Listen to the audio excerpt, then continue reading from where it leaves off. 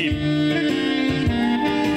Финалистка конкурса Нина Волкова, ведущий инженер по согласованиям договора.